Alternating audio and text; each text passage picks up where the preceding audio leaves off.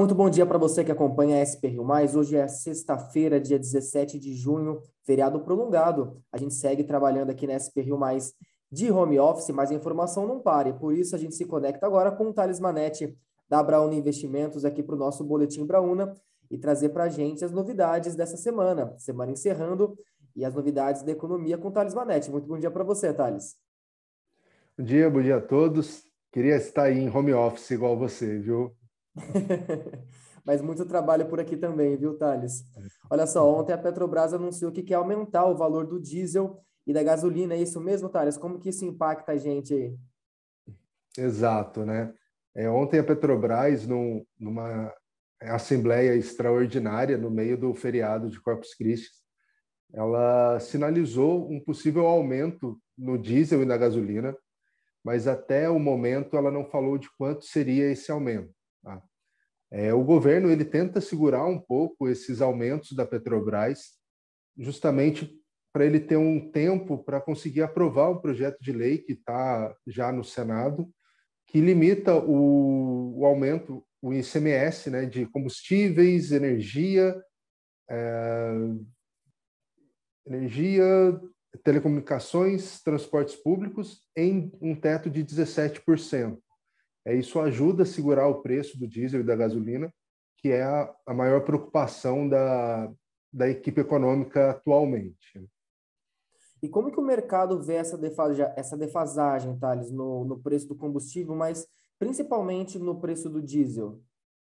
Ah, essa pergunta é muito interessante, né? Porque a Petrobras ela tem a política de preços dela que anda sendo bem contestada por, pelos brasileiros mas quer manter uma paridade com o mercado internacional, né?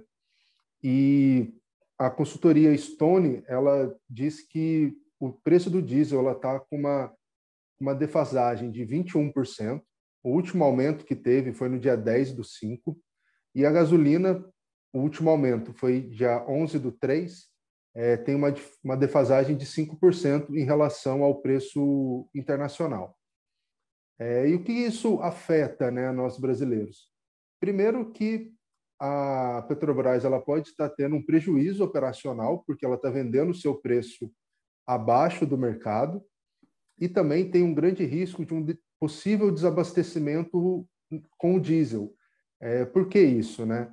Os, nós temos importadores que trazem diesel para cá e eles têm que concorrer junto com a Petrobras. Então, eles têm que pagar no mercado internacional o valor é, cheio e chega aqui, tem que vender com 20% abaixo do mercado, isso pode desestimular eles a trazerem mais diesel para o Brasil e gera um risco de desabastecimento. Né? É, de acordo aqui com, com as pesquisas, mostra que o mercado de diesel nosso, entre 25% e 30% é abastecido por essas empresas importadoras. Né? Então, isso daí pode ser um, um sério desabastecimento.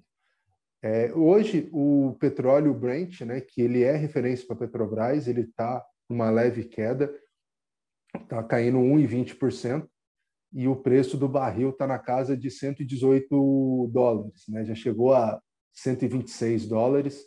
Isso pode também trazer um, um certo alívio aqui, um pouco mais no curto prazo para nós.